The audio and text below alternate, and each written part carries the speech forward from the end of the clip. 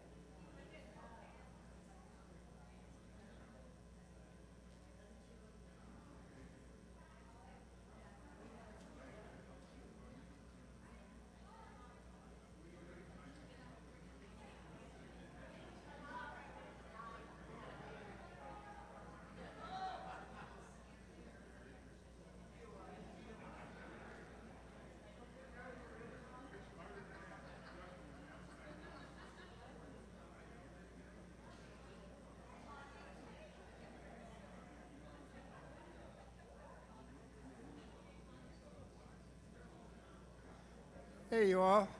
Hello, hello, hello. Find your seat. And we can begin this pop stand here. Uh, my name is Joe, a recovering alcoholic. Glad to have you here tonight to visit with our old friend. Um, I think the first time that I met John, I don't know, how many years ago was it, John, when you first came to the Recovery Church? It was before there was a Recovery Church, really, but I don't know. Something like that. In 95. I, I don't know exactly how he first, do you remember how he first got you to do something for us? Oh, no. Well, check with me after to see if it's somewhat true. Uh, John not only became a part of our early church, but became a friend of many of us as his, uh, his recovery spread out uh, throughout both no, not only the Minnesota, but uh, throughout the country. Um, John's been a, not only a friend of the Recovery Church, but he's been a personal friend of mine uh, throughout many of our escapades together. Um, many of the things that has happened in both of our lives, we told the other person not to do. And uh, of course, that went really well. That meant that we probably should do it. He unfortunately has carried on his marriage, and some of us haven't. So uh, I should have listened to you, John, right? Anyhow, John's a friend of ours. Why don't you welcome John McAndrew?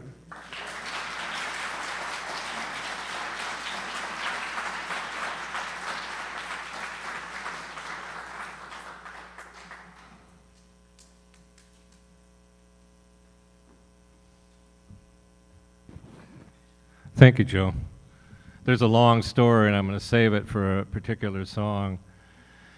And uh, behind me, that whoever made that, you know, makes me want to tear up, and to see the so many people in the seats. Um, this is where, you know, my recovery journey started. It was in St. Paul, and. Uh, Joe Camp called me one day, and I'm going to play a little song about this later, but I had had a song, which I'm going to start with, that got into a movie, and and uh, that was kind of exciting for me. And but no, you know, a lot of people don't bother to look at the end of the movies see where the who wrote the song or what the song was about. And the song was placed in the movie where it didn't have anything to do with what the lyrics were about. But uh, Joe heard about that, and he said, you know, he calls me on the phone, and I answer the phone, and um, he goes, hey, this is Pastor Joe from the Recovery Church. Would you come down and play at our church? And I said, just without a second, I said, I'm afraid if I walk into a church, I'm going to catch on fire. and then Joe starts laughing. And he sa- I said, what, What's your deal? He says, Well, I'm a Methodist minister. And I'm thinking, He can't be he's talking crazy, and he told me a little bit of his story. And he said, Why don't you want to come? And I said, Well, I don't know what I believe, you know. And he says, Then he surprised me again. He said, Well, I don't care, you know. And I came down here, and he said, They have a band. And uh, I said, Okay. I'm a little suspicious. And that's when I came into the room and I met Shaky Tommy, the bass player, who all of you know. And there's a whole thing that I, we all talk about perception, you know, and we all have a story of how we've perceived one thing that wasn't anything close to what I thought it was.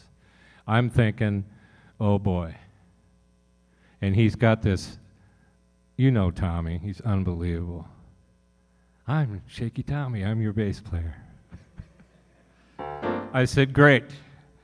And when we started the song to practice it, my perception changed immediately. So, we're going to talk about spiritual awakenings tonight, little things how you perceive. These little awakenings have come day after day after day, and coming to this church was an amazing thing for me. I came and did that Sunday service, and that morning I saw eight or nine people get up on the stage and talk about their experience with a power greater than themselves. And I didn't know anything about that. I was raised Catholic. And I know this is on the YouTube channel. And I'm just going to confess my sin right now, but I thought the only way to, to God was through that one dude up there. Father, what's his name? And uh, I found out that that wasn't true here at this church. About eight people got up that day, and somebody read some Buddhist stuff, and then somebody read some out of the big book, and Joe did some scripture in a way that I had never heard stories told to me before. And that totally woke me up as to, wow, maybe this is different. So I played the concert that day. And I never left. And in a few songs, I'll do the song that we wrote. But here's the song. This is the first song, you know. Uh, I, uh, this is being aired publicly, and I'm going to be real careful. That's just the way I have to be. But uh, I think there's an understanding in this room. I was pissed at God, and you told me I had to have a higher power. Uh, is pissed a bad word? That's a bad word. I know it's not. I mean, nowadays, golly, it's third grade stuff. So I was angry as all get out and I'm, you know, telling me I got to have a higher power. And what happened with the song when it got recorded and it got into a movie, I heard it come on the radio one day, and I'm driving the car and I'm listening and I'm going, "Ooh, boy, aren't I something?" And then the third verse came, and I don't remember writing the third verse. And that's where I had a little bit of an awakening where, oh, oh, wonder if it's me, if it's the way I look at things. Please give me new eyes. This is that song. Clap your hands if you want, like it. Oh, oh, oh, ah, oh, ah, oh, ah. A little slower now.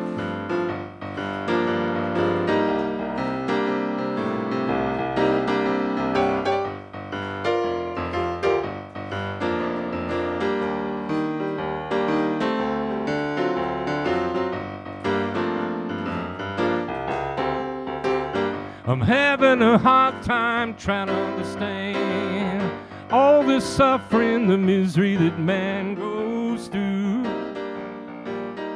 Where were you when I needed you? And how come I didn't get what I needed? How could you let them treat me that way?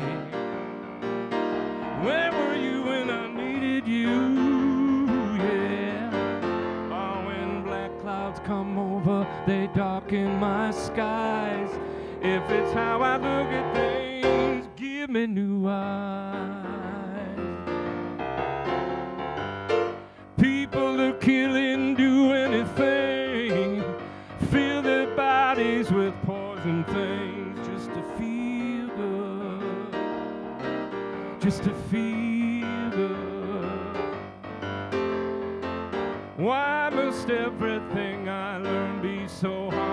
Can't you see I'm giving up? I don't know where you are. Oh, where are you? Oh, when black clouds come over, they darken my skies.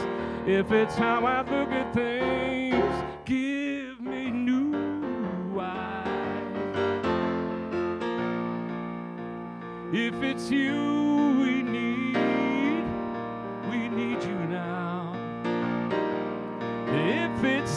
other, we will see you.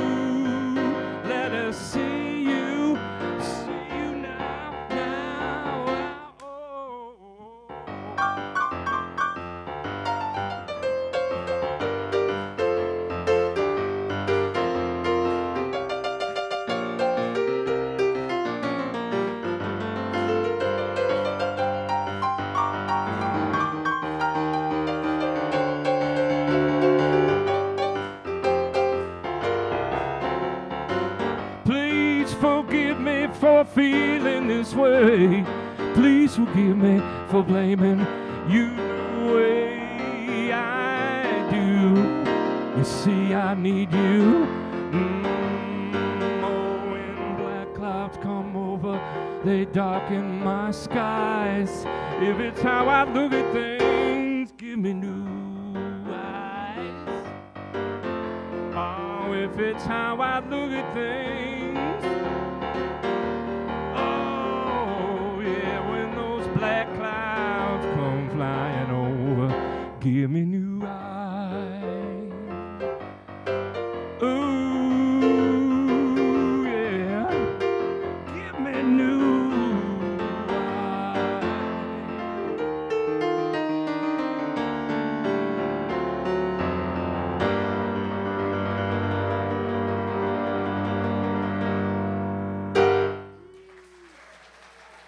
Thank you.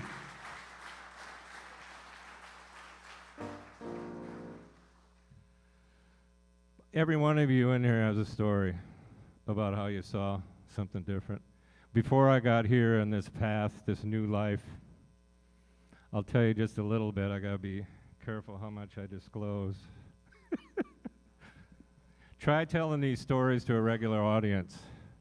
They just go, What? 1983, December 10th, they pulled me off the freeway in Brainerd, Minnesota. That's kind of near where the movie Fargo was made. That was kind of what my life was, like that bar in Fargo. It was Brainerd. It was four in the morning, and they pulled me off a freeway wearing a guitar and a pair of socks. And like the elderly woman at the Performing Arts Center, I told that story to about 10 years ago, right way in the back of the theater. She goes, Why did you do that? and, uh, it's funny when you talk to people, other people that are on this path, and you basically say to them, out of the just the most honest part of your heart, I'm kind of crazy. And they go, Get in the car. We're going to go somewhere together. And uh, I think uh, most of you know I moved to, to Tennessee, and uh, actually I was 42 years old, and I got a record deal at a place called Muscle Shoals Studios, not knowing a single thing about what I was doing. I had a green beret on, so I wanted to look cool, had little round horn rim glasses. I got down there, I didn't know anything was, that was going on. And uh, what happened is I met my wife, Nancy. And I honestly think that that wasn't the reason I was supposed to go down there, the music. I was supposed to go down there and meet her. And I met her, and we, we're still together, and, and I, I have five grandchildren. It's unbelievable. And being here for two or three days, I was taken back to where I was when I lived in St. Paul. And I, I lived over here in a little garage, kind of round three after a divorce and something else. Actually, two divorces. And I remember a lot of stuff that happened in this town. I called an old friend in California and I said, I'm going back to Minnesota for a few days to do some work. And he said, Won't it be great to go back and see those people that held your hand early in your recovery? And it is great. And I believe this is how God works.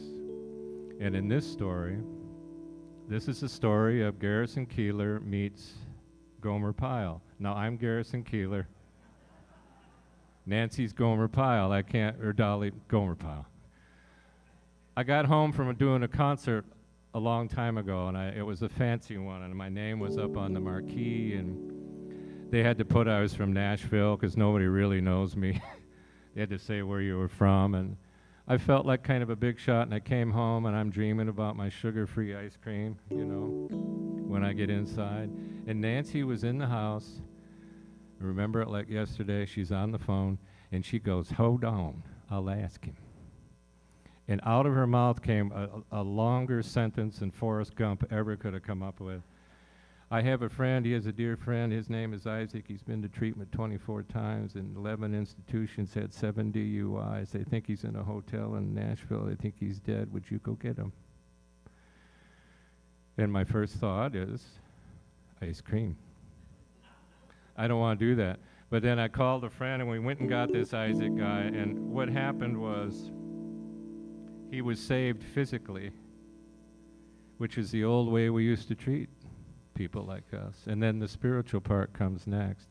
And the place where I work, Cumberland Heights, took him in and got him back to where he could walk, and then his spiritual journey began. And this song happened two years later. Isaac is sober. I'm working with him as a consultant. And uh, he said, I want to go to Knoxville, Tennessee with my new best friend Jimmy. And I go, Well, who's Jimmy? And I find out that Jimmy is from northern Michigan, used to run a prison in northern Michigan. His whole family's in the mafia. His uncle's name is Jimmy. And guess what his dad's name is? They're all Jimmy. And uh, these two guys meet, and uh, in a halfway house for men, sort of sober house, and Jimmy can't read. I, don't think he could read good. He asked Isaac to help him fill out some complicated papers, and Isaac said, I'll do it if you drive me to my meetings and to my doctor's appointments. They became the greatest friends. Both of them had an ex wife and two children who wanted nothing to do with them. And here's this odd couple. And what happened? Isaac said, I'm going to go to Knoxville to get Jimmy's old car. And they, I saw him three days later. I said, call me, get to some fellowship, you know, do what you got to do. And They came back three days later and they were coming out of a place where about 25 of us had spent an hour contemplating the world. We came out, sun's out. In flies a Mercedes Benz convertible with gold hubcaps and leather engraved front, all through the front. And you'll never guess what name was written on the dashboard. Jimmy. It's like a really expensive car.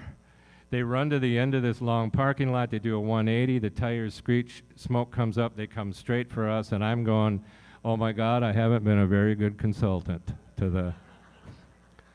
and they stopped on a dime and they went like this. And Isaac goes, We drove 95 miles an hour the whole way back. And you know how this is. There's always a story in the back that you never know. And what I found out is when Isaac was 14, he got hit by a train when he and his dad went to get milk in Demopolis, Alabama. His father atomized in front of his face. Isaac lived with that. Isaac was 64 years old, and he hadn't smiled his whole life until that day with Jimmy, this crazy guy driving the Mercedes Benz. This is their story called God Works That Way. Took a while.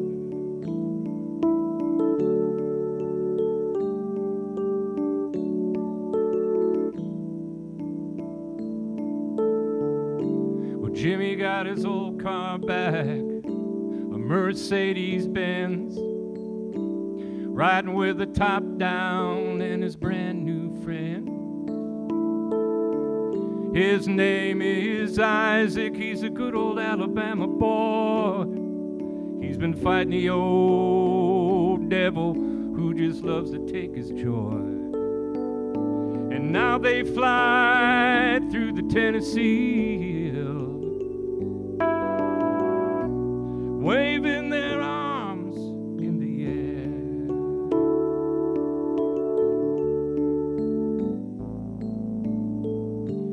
Jimmy was born in Youngstown where you had to be bad. Isaac in Demopolis in the backseat of a cab. Jimmy says, I always wanted a friend and a car to call my own. Now the oddest couple in the whole damn world, they're flying down the road and they fly through the Tennessee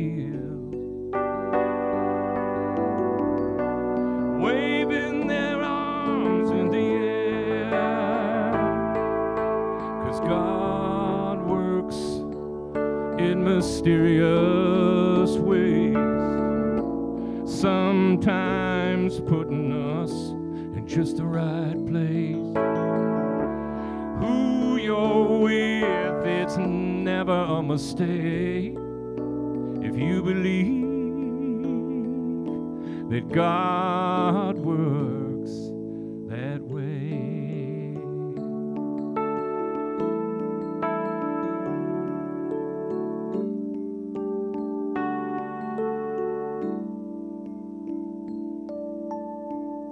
see, they just got back from war with a bottle and a pill. No, they're not weak men, it's no matter of will. Why, crawling back from emptiness, there came a light and a spark when the angels made them angels to keep each other from the dark. Now they fly through the Tennessee hills, waving their arms in the air. 'Cause God works in mysterious ways, sometimes putting us in just the right place. Who you're with, who you're with, it's never a mistake if you believe that God works that way. Well, I believe, I believe that God works that way.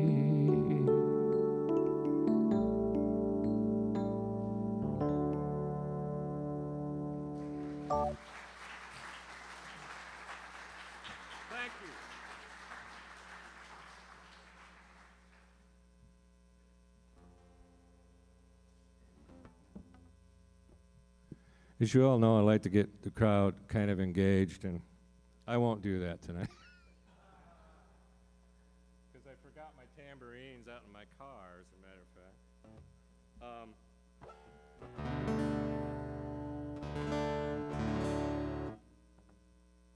somebody asked me, ago, so they said, "What do you What did you lose from uh, your drinking?" See, I drank a lot. And I started drinking a lot really early in my life. And I, I did things while I drank, and I guess I had some fun. And then I kept doing things I, I wanted to do, but then uh, the drinking took over, and then I, then I just started to do what the drinking told me to do. And it, you know, like a lot of people's story, it started with really awful tasting something. Like it was red and it was rotten grape mixture of rotten grapes and something else. And uh, I broke a tooth. I, I drove. I had some friends who were making out in the back of a car, and they asked me to drive. I'd never driven before, and I said it'll be fine. I had a lot of courage going on, and I drove them into about a four-foot deep pond in the car, and running away, I uh, chipped my front tooth on a wine bottle, and. Uh, I said, I think this is going to be a great way to live my life. It's just going to, it's going to go on and on, get better and better and better. Well, uh, you know, it didn't. And uh, I think by the time I was 29, uh, you know, I'd lost my mind. And I wasn't, it didn't matter if I lost my house or my marriage, but I was losing my mind. And that scared me. And I didn't want to lose my mind. Somebody asked me, What did you lose from all that? And I said, Me, my soul, and my heart.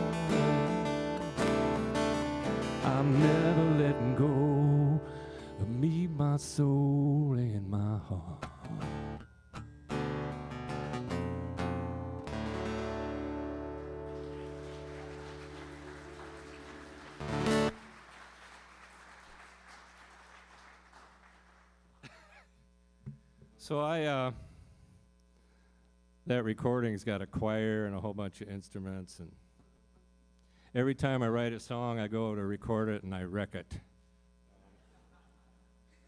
I kind of like this version. I, I lived a really long time in Winona, Minnesota, and it's a beautiful little town south of here. And I finally made it up to the big city at some point, and I was still you know, drinking really, really heavy, but I figured that, you know, what they call that geographical. I'll go up there and get a job, you know, a real job. I, I was uh, in Winona, I was the maintenance man at, a, at the Winona Hotel. Had the keys. I maintained all the coolers for the. they trusted me to do that. You know, why would people. And I had a room upstairs oh God, I got room and board. I'm making buck. I got some keys, and the liquor's down there.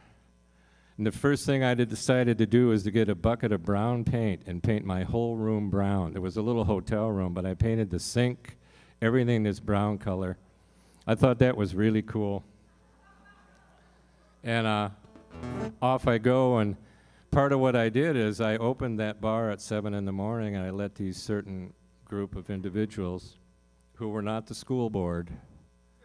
They were the, the town drunks, and they taught me how you don't drink at seven in the morning by trying to hold a shot glass. Cause they, so they taught me this stuff. And one of the one of the guys there was a, a man named Donnie Dearman, and he had big curly, just a huge head of hair, and he walked like Bigfoot, and everybody knew him in Winona. He never said a word he never said a word on those mornings. He just looked at me and grunted.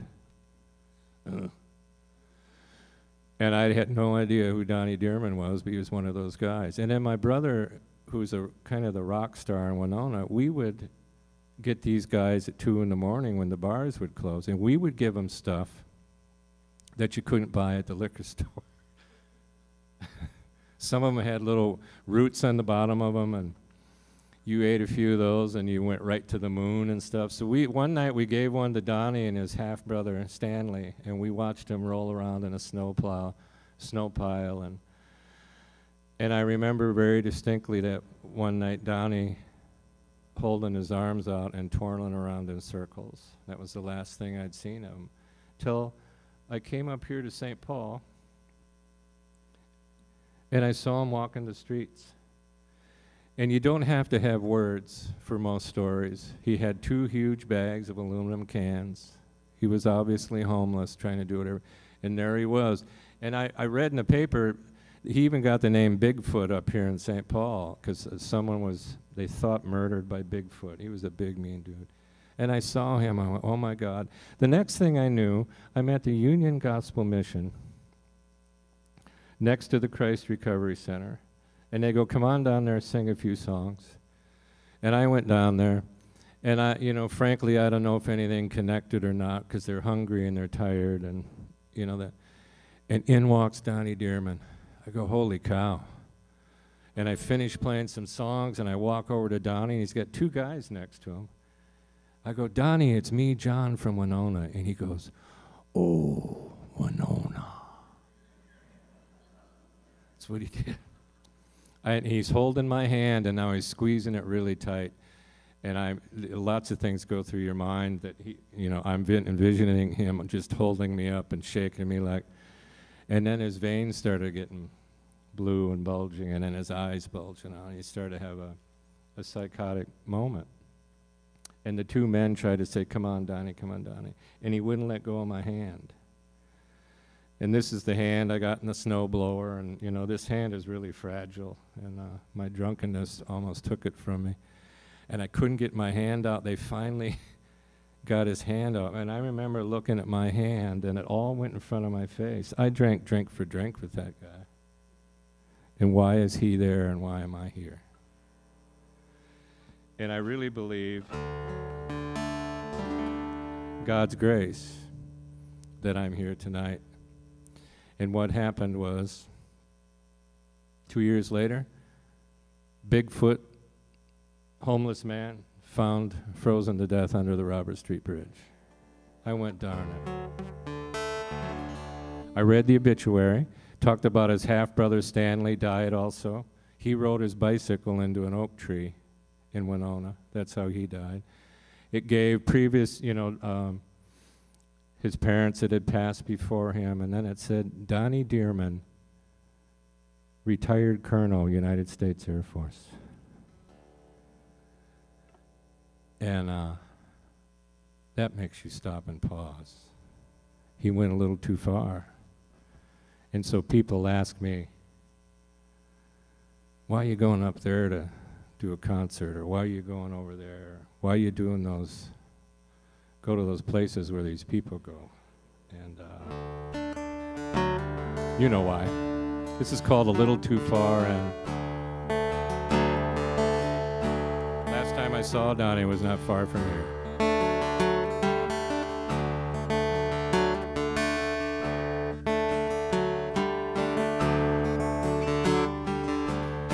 Well, there goes that old man again, dancing in the dark.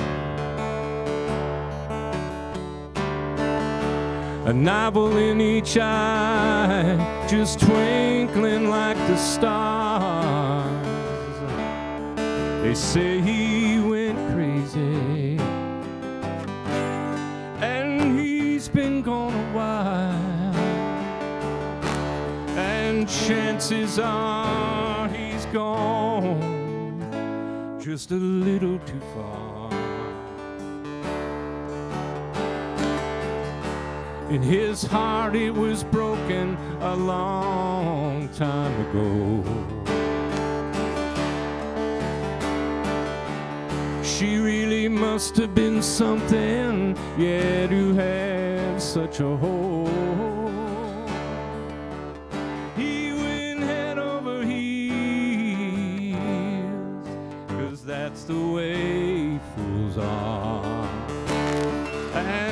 Chances are he's gone just a little too far. Maybe he's happy, I don't know, just dancing in the dark. And maybe that's just the way some fools are.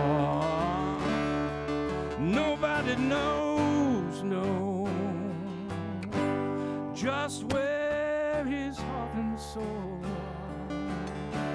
And chances are they've gone just a little too far. And he drinks just to keep on going this way. And he drinks and he drugs, whatever else, to push his thoughts away. And he he does, to go out in the dark. And chances are he's gone just a little too far. And chances are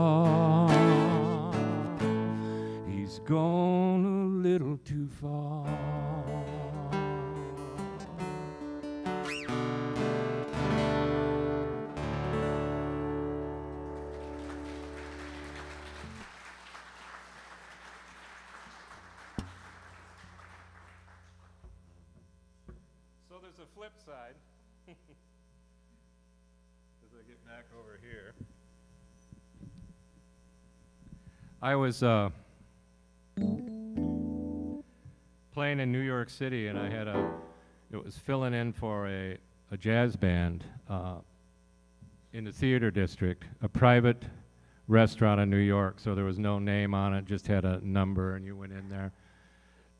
And it was a fun place for old musicians and actors to hide and stuff.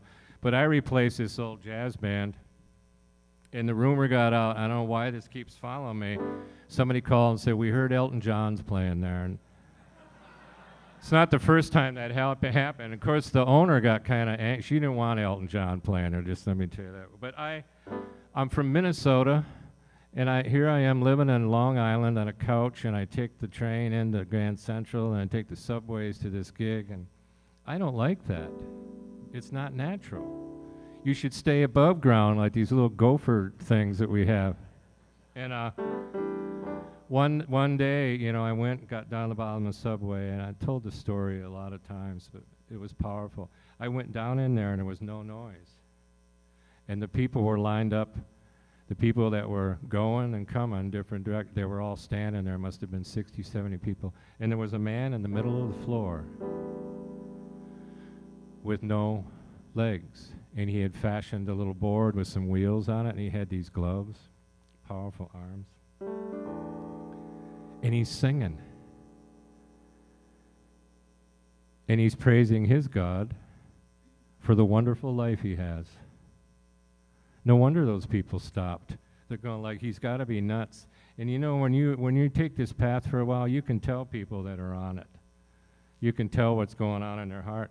This guy was stone, stone cold, cold sober and so full of gratitude was unbelievable. It took everybody's breath away. And for about a minute and a half, he just stopped New York City. And this is called Broken Soul. And this is what happens to the Donnie Dearmans if they get help.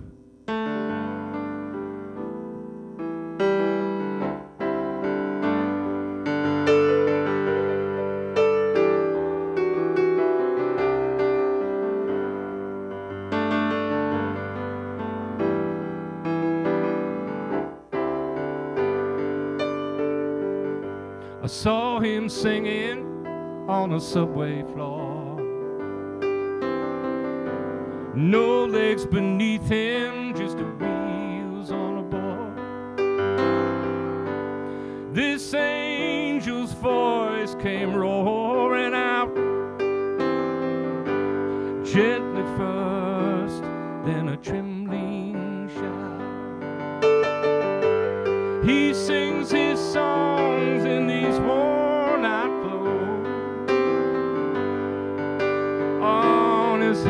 head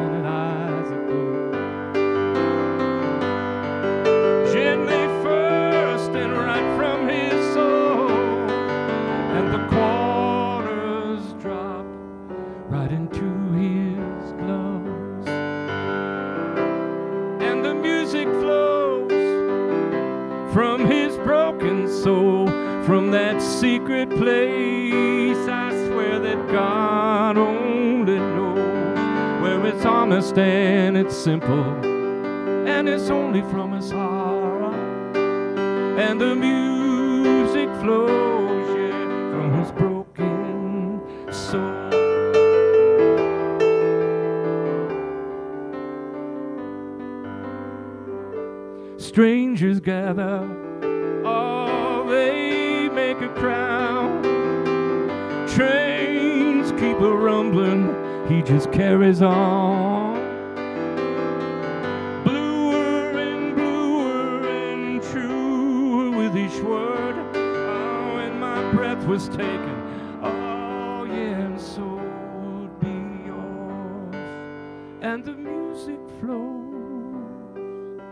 from his broken soul, from a secret place. I swear that God only knows where it's honest and it's simple, and it's only from his heart.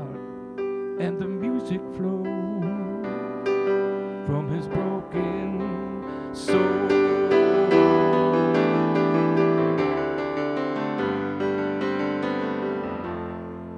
I've been running, and I've been flying. I've been chasing round this world. Glory be this broken man, cause he slowed me down.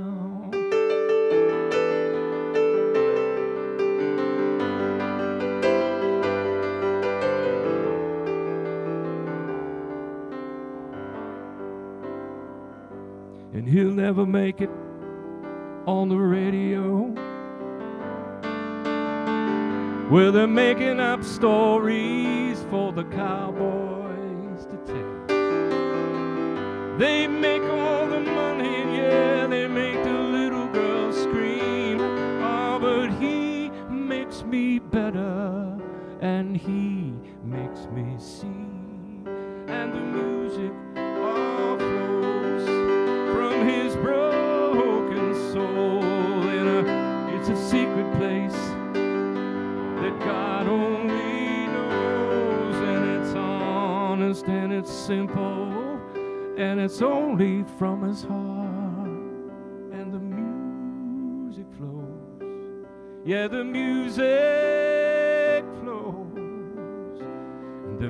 music flows from his broken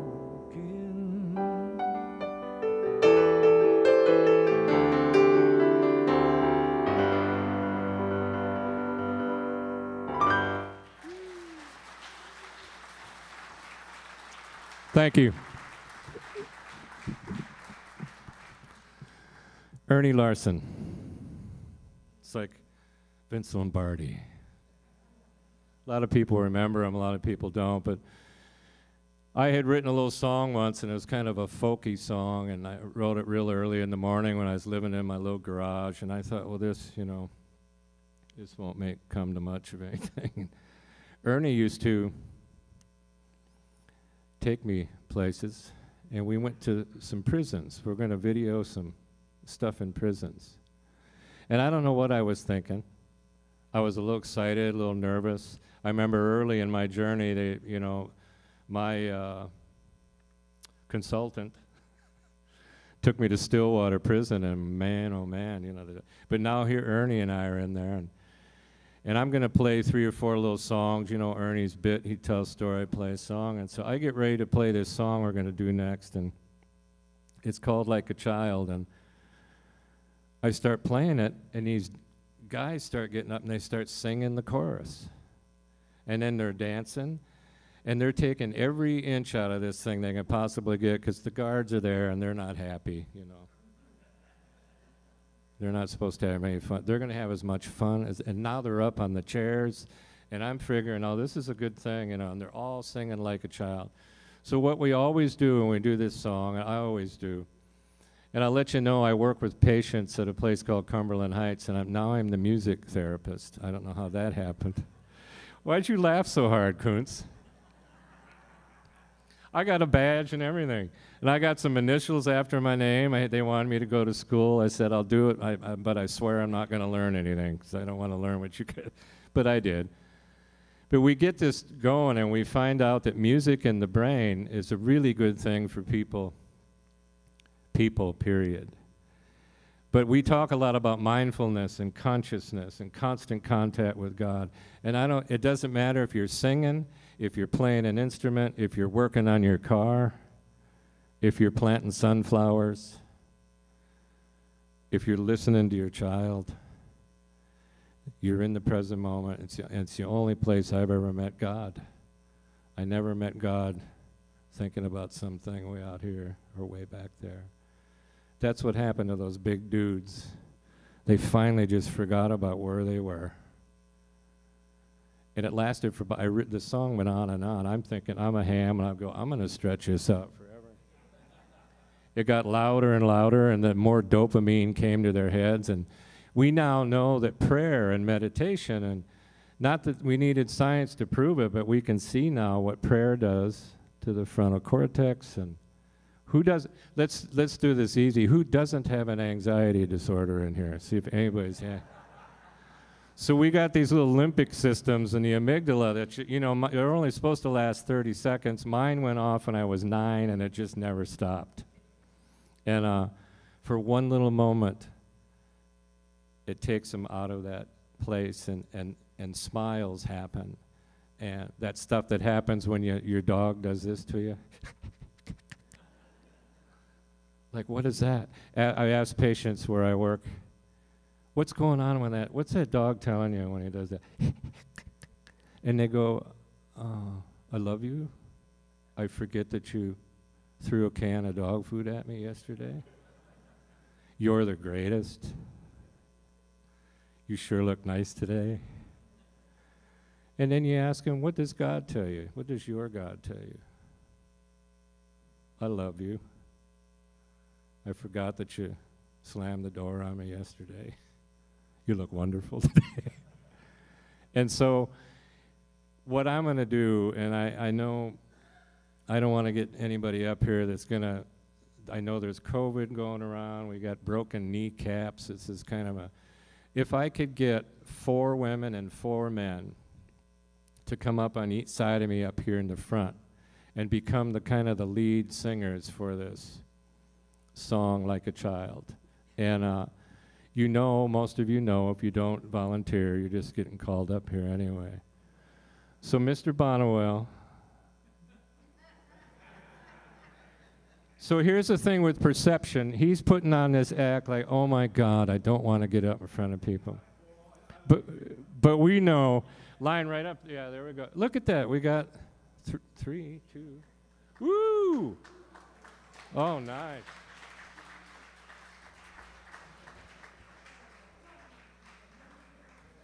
So this is a big photo op, so don't get too much in front of my mug over here, pal. I'm, gonna I'm just kidding.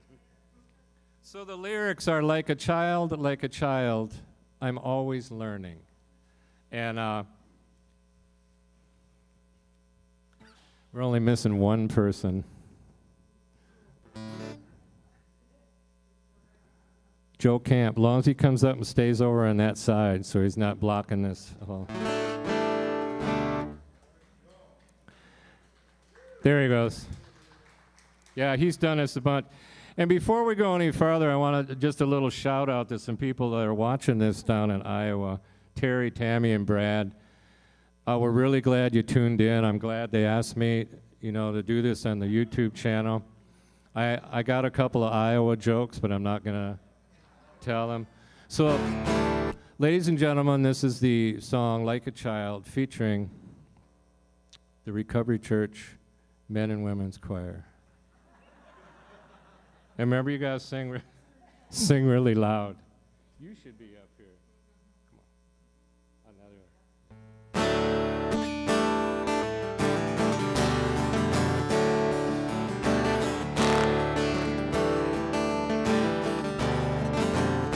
And do a little, yeah, you got it. You got. Do a little bit of, just imagine you're in Rod Stewart's background singers. Now the women will be better at doing that. I don't know why. It's nothing. No offense to anything. Well, I changed my mind. Larry's wiggling in his ass pretty nice. All right. Excuse me, but look at Larry go over there.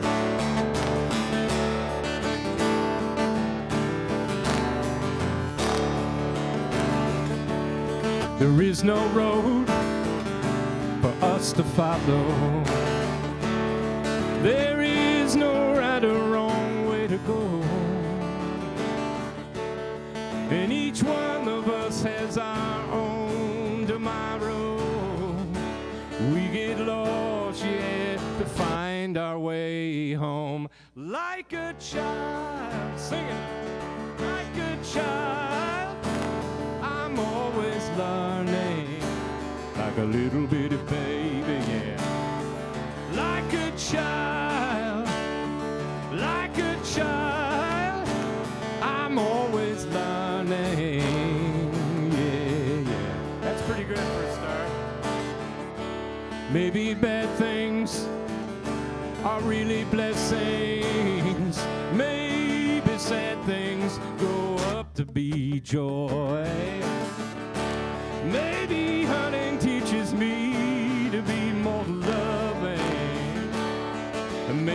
lessons are the only way I know. Like a child, like a child, I'm always learning. Like a little bitty baby. Sing it, Larry.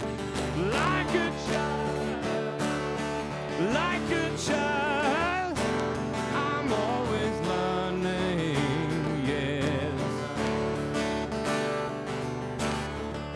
You know he walked with the fools and the beggars. You know he walked with the poor and the lame. Then he walked away from the rich and the self-righteous. In his humbleness, I can hear him say, like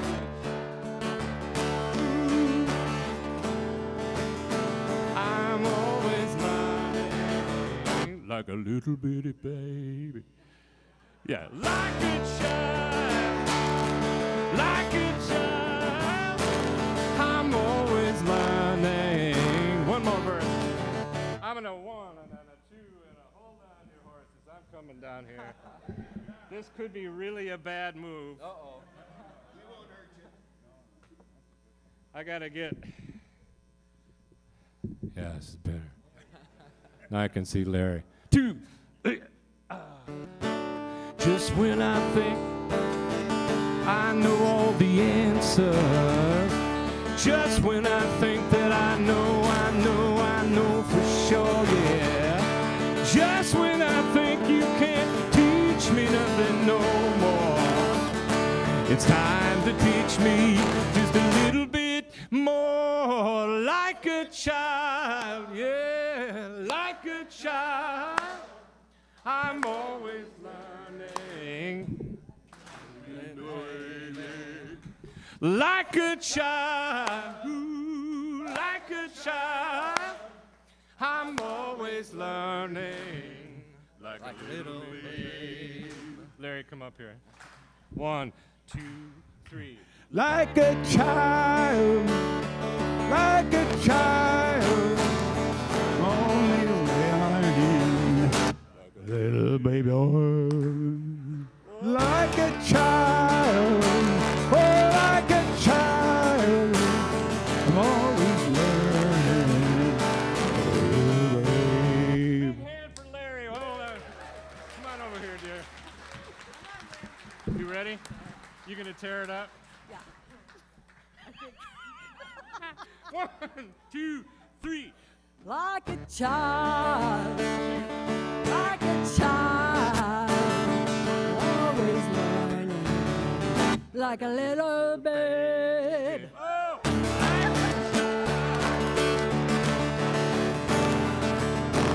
I'm always learning. Like a little baby. I'll bring it over to you. You ready? Here's a really shy guy. Shy guy? Shy guy. One, two, three. Like a child, like a child, I'm always learning, like a little babe. Like a child,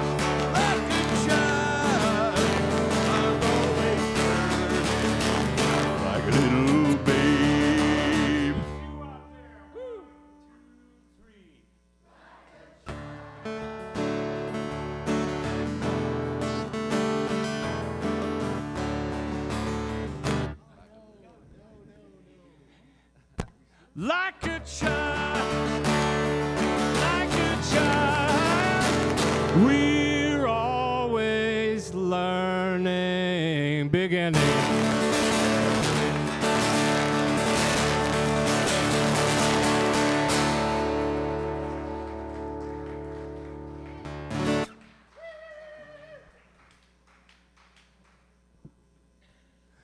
Dopamine everywhere.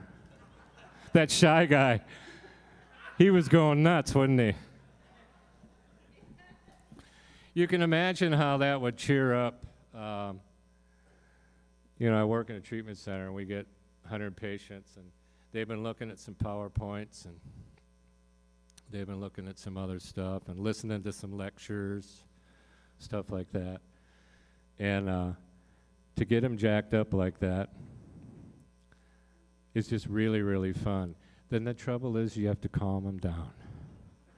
Because then it's hell to pay. And I'll, I'll show you how to do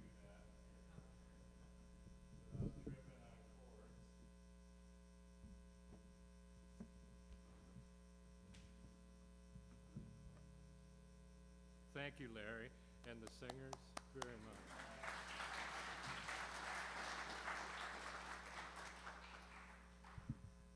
This is, uh, I work with, uh, I work with at my job. We have an adolescent program. It's called Arch Academy, and it's really fantastic. And it's, it's a lot of young, it's young men. And uh, I do a bunch of stuff where they just get all fired up. I hand out the tambourines, and you all have seen that. They, you know, one of the first times I did it with the adolescents, a 13 year old boy took that tambourine. And now you got to understand wherever tos- testosterone is produced, I don't want to go there, but he had a really lot of it. and he took that tambourine and he smashed it on his forehead, broke all the cymbals off it. And I'm going, maybe it's not a good idea to get him too revved up here. And then I'm thinking, to play anything mellow or soft for them is probably a bad idea. They're not going to care. And I was wrong. And this song is about um, getting older and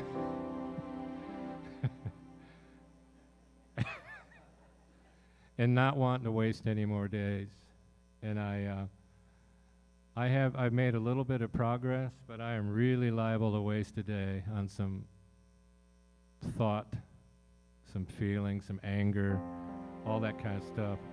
And I got this little grandson now that I gotta, I just gotta be around for him, you know, and stuff like that. So this is called Before They All Slip Away.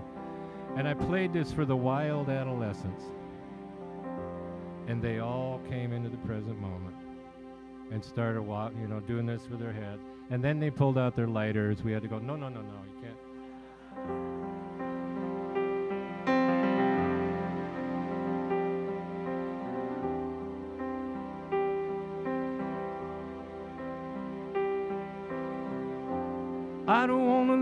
this earth knowing I didn't try.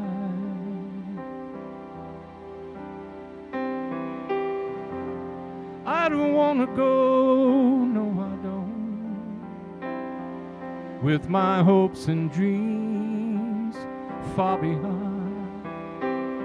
And any chance that slips right through these hands let me try again. I don't want to take one more breath without loving you the way I should. I don't want to go one more day, baby, without showing you all the way I could. And any chance I let slip right through these hands. Let me try again. Cause every day is a precious gift. Only once will they ever come our way. So I'm hanging on tight as I can before they all slip away. Before they all slip away.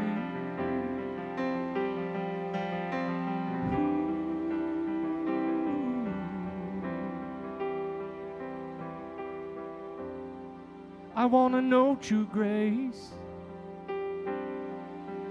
by mending our hearts just a little bit.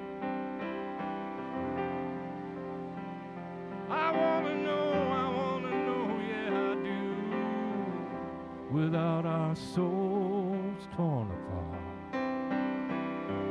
And any chance I let slip right through these hands, let me try again.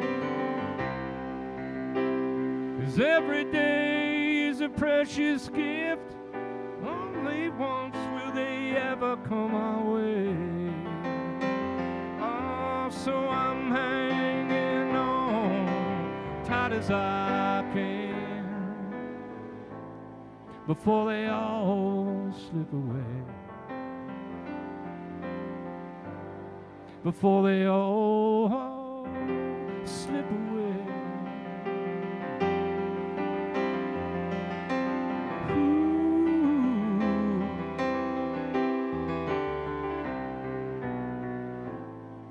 I want to love you before they all slip away.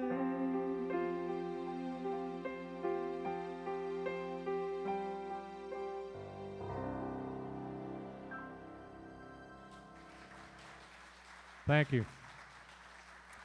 Bobby, can we get that little video pre- prepared? And I'm going to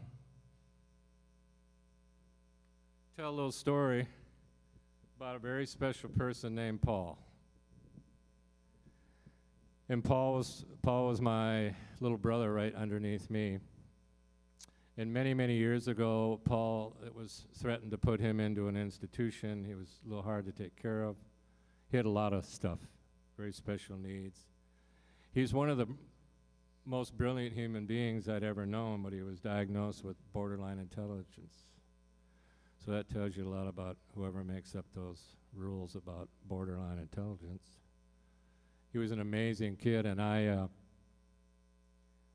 when I started, I got a record deal, and I went to Nashville, and I met my wife Nancy, and I, now I'm trying to figure out how the heck are we going to wing this deal. I didn't want him, Paul to leave this place. Paul was the janitor at the Recovery Church.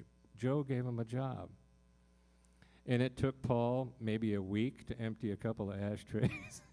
he was amazing because he'd think of stuff, you know, and Joe was so patient. Paul would come home with that cash. It was unbelievable. And uh, then I'm struggling with how to get down to Nashville, and this was such a sacred, safe place for Paul to be. And uh, it took quite a while, it took over five years. And finally, someone from the recovery church started a foster care home. And Paul was able to stay there, and it gave me enough faith that he was safe enough, and I moved down. We eventually moved Paul down. And three years ago, Paul passed from cancer. And uh, that was, you know, it sucked. And I, uh, we did everything we could for him, and Paul did it very gracefully. And he passed away at, on 12-12, on March 12th. And 12-12 is the date when I started my new life. And I said, thank you, that's fine. And he went on. We did a really nice ceremony for Paul. I got three different ministers to come, covered all the bases. Had a real uh, Church of Christ guy who was unbelievable. He got kicked out of his church. So anybody gets kicked out is, yeah, right. I hope Larry laughed at that. We had a wonderful service, and then all of that hushed down, and then. Uh, I'll be thinking about Paul, and my wife Nancy would say, "Do you remember when Paul?" And I just say, "Ah, you and I put the pictures down in the house. I looked at them because I thought I had to be father, brother, minister, doctor. Paul had trouble communicating sometimes with people, and I kind of knew his language, so I figured I'm the only one in his life. And then I felt all his guilt, all that stuff. So I remember when I went to my place to start my new journey many, many years ago, there was an old guy there that said, Get a daily meditation book, and if you read it every day, you'll never have to drink again. Now I know he could have spoke for a week on what the other part of it is.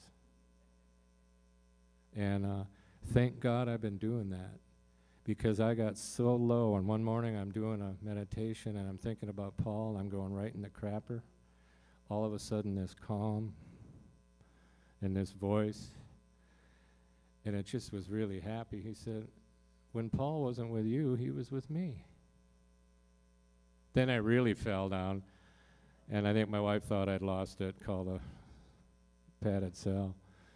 And I got up, and everything, you know, a lot of times I write music about stories. I think that's really all they are stories, you know, real stories, not ones we make up. The broken soul guy in the subway, that's a real story. So I wrote, and I'm in my home, and I, I have a little studio, and I, I, write a few lines, and I play it, sounds good.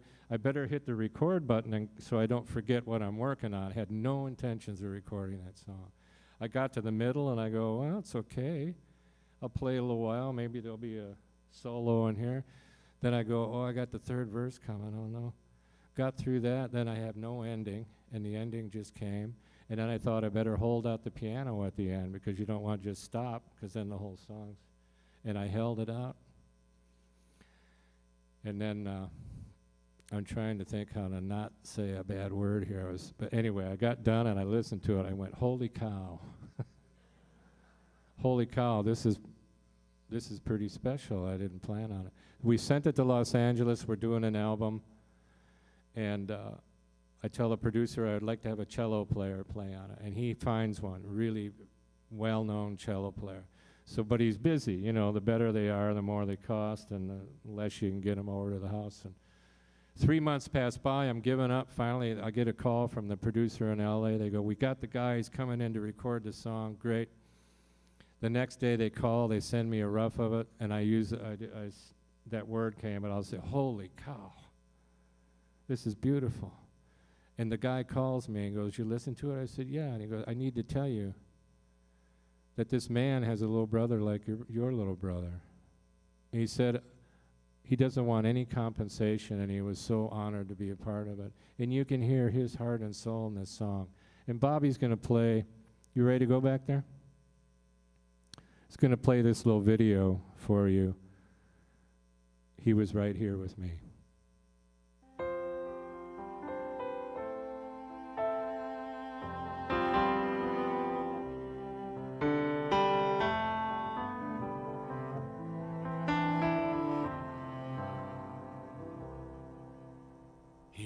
Us here on earth, and today I miss him so.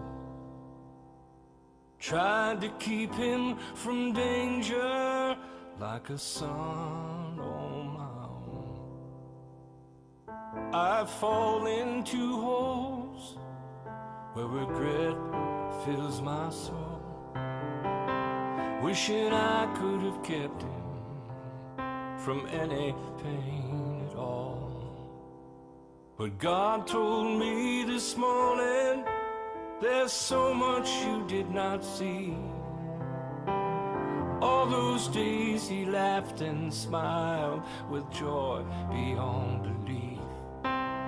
Those days we played with angels and life for him was a breeze.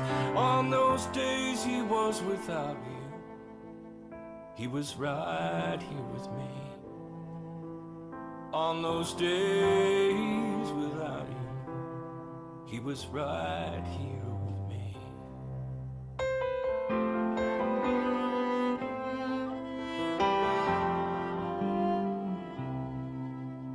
He showed me how to live, cause I had so much to learn. How to care for someone else and being there when it's your turn. Simple things were hard for him, but he never let you know. I feared when I would leave him like a son on my own. But God told me this morning there's so much you did not see. All those days he laughed and smiled and had joy beyond belief. On those days we played with angels, and life for him was a breeze. On those days he was without you, he was right here with me. On those days without you, he was right here with me.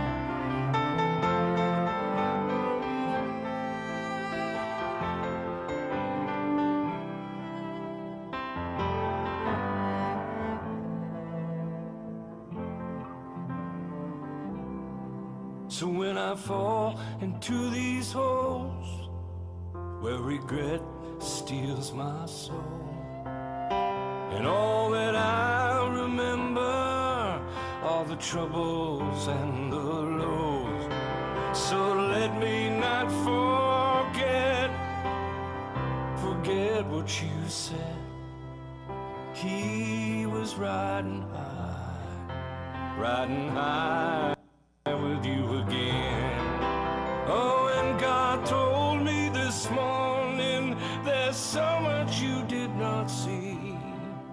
All the days he laughed and smiled and had joy beyond belief. On those days we played with angels and life for him was a breeze. On those days he was without you. He was right here with me. On when he was without you, was right here with me. And now he's without you, but he's right here with me.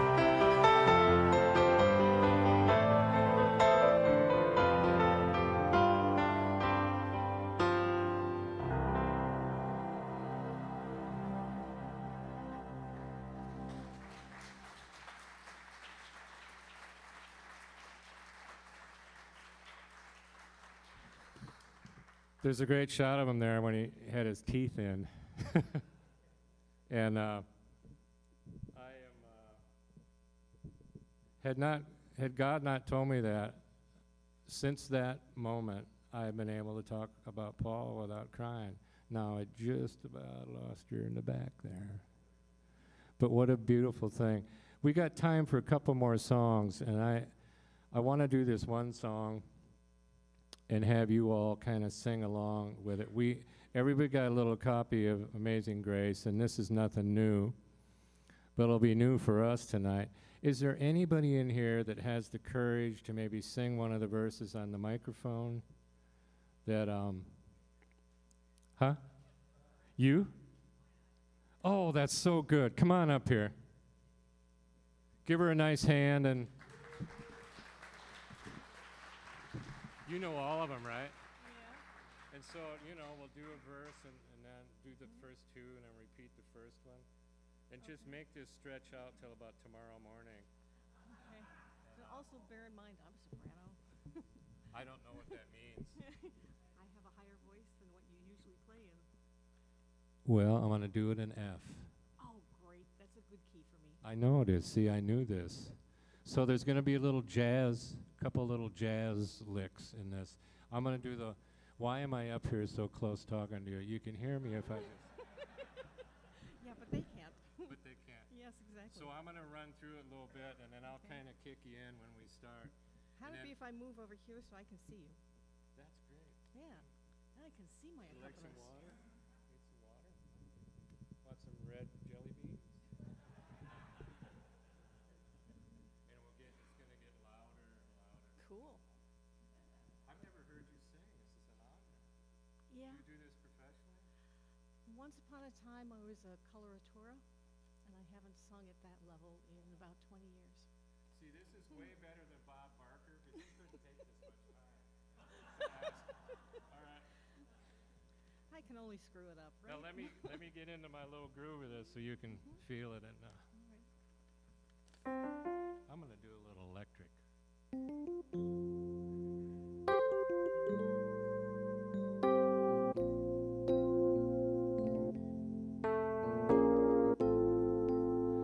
Oh yeah, I needed to say, this is we're gonna try to vacuum some money out of you. this. And all the money goes to the church and you know what, whatever so all right thank you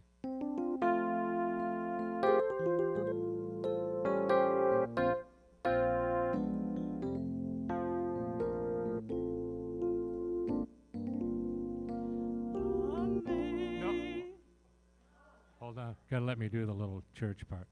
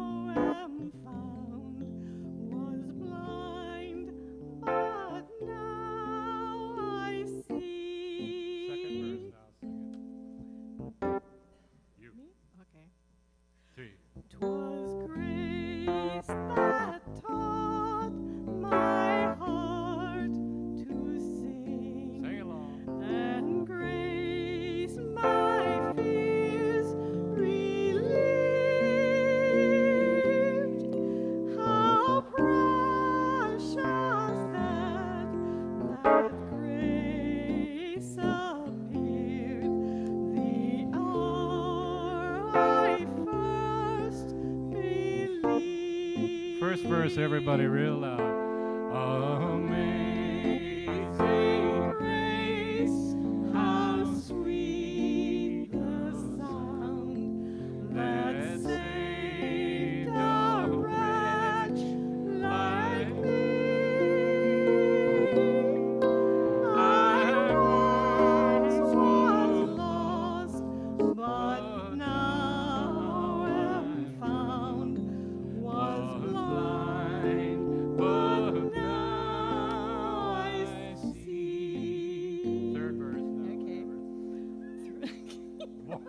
two. Through many dangers,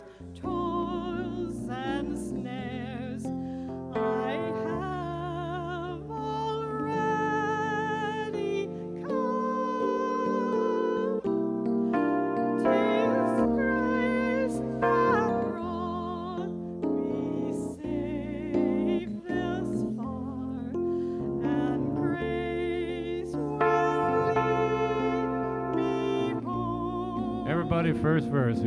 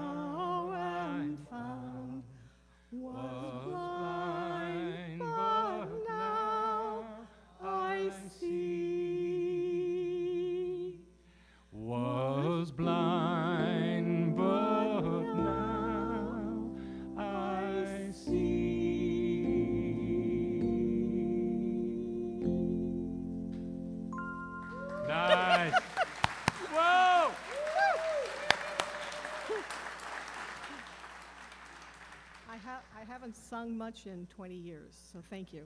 Thank you.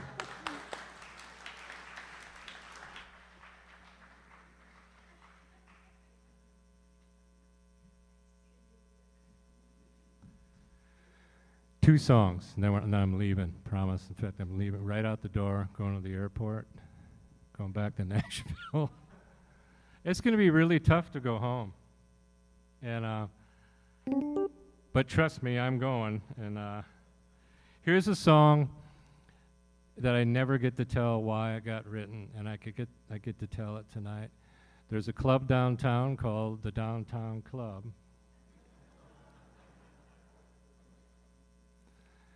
Went in there one Sunday morning where a bunch of people with a common problem meet. They go to meet God, I guess. And anyway, they have a kitchen there, and it's really nice. And that kitchen draws a lot of people to come to meetings. It also draws a lot of people that don't have money to eat or have coffee. And they come into that club on Sunday morning. And I, I always notice this one fella come in, he'd get his coffee, someone would give him enough money to buy breakfast, and he'd sit out in the kitchen. And then he never came back into the little those little secret rooms where there's God knows what goes on. He came back in there one day and was sitting, and we were all surprised, and some people celebrated some time in their journeys. And he just raised his hand. He didn't know the protocol. And he said, There's a thread that runs through you, and I wish I could hold on to it. And he had one tear left in his eye. He's probably dehydrated. And he just reminded me of this thread that we need to hold on to. And I can grab a hold of that thread every morning I wake up, any place I go in the world. Uh, it's a beautiful thing. And this, the thread running through this room is about this wide. It's like the, the rope on a huge super tanker ocean liner called the thread.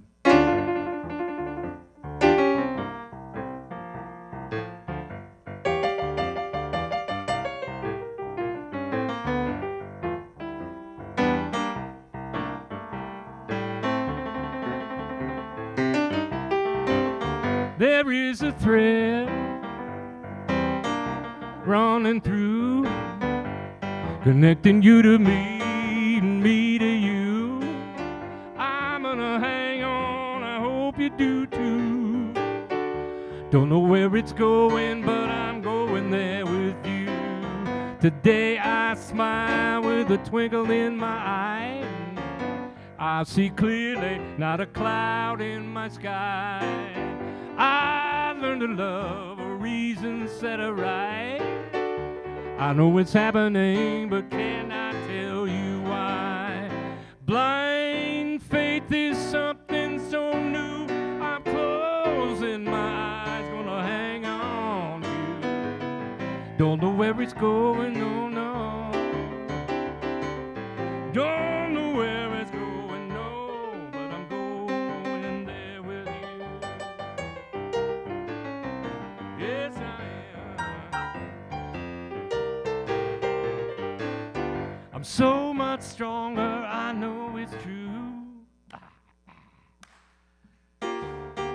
Not when I'm alone, but when I am with you. I'm gonna hang on, I hope you do too. Don't know where it's going, but I'm going there with you. Blind faith is something so new. I'm closing my eyes, hanging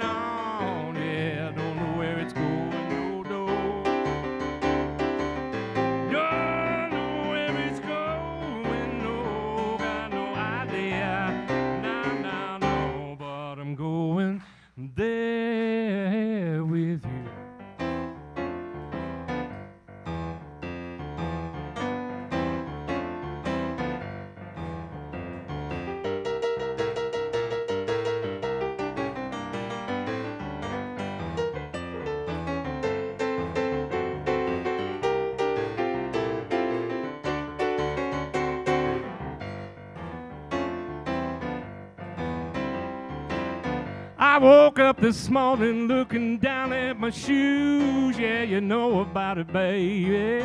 I got them old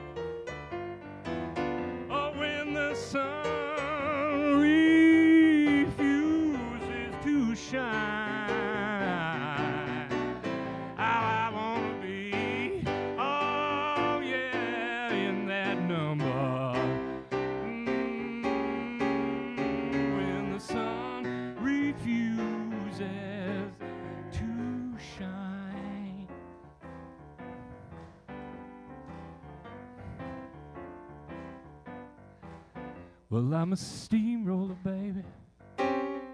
Bound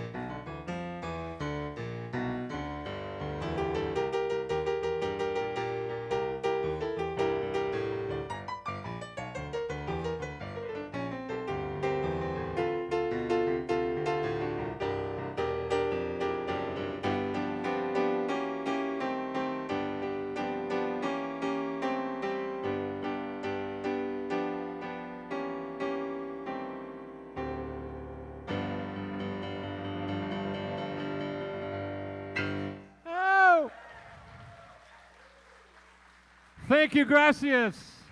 Mucho gracias. Thank you very much. Thank you. Thank you.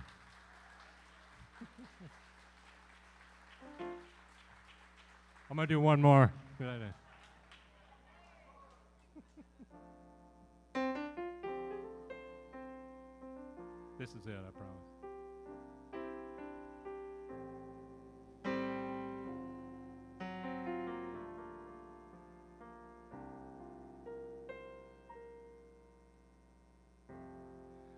I'd like to play for a small crowd where I can see your eyes watching these songs. I would rather touch a few very, very well in a small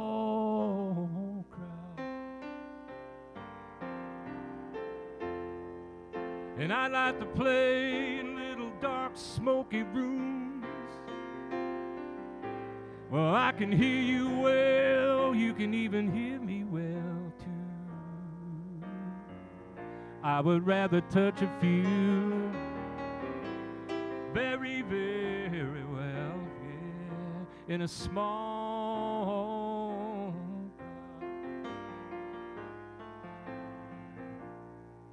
And maybe just you, you and I. It's all the crowd is ever gonna be. Well, that's enough, yeah, don't you see, don't you see? Of a crowd, of a crowd for me. Oh, pianos they can always be found. People everywhere, they will always gather round. I would rather touch a few very, very well in a small crowd, in an itty bitty crowd.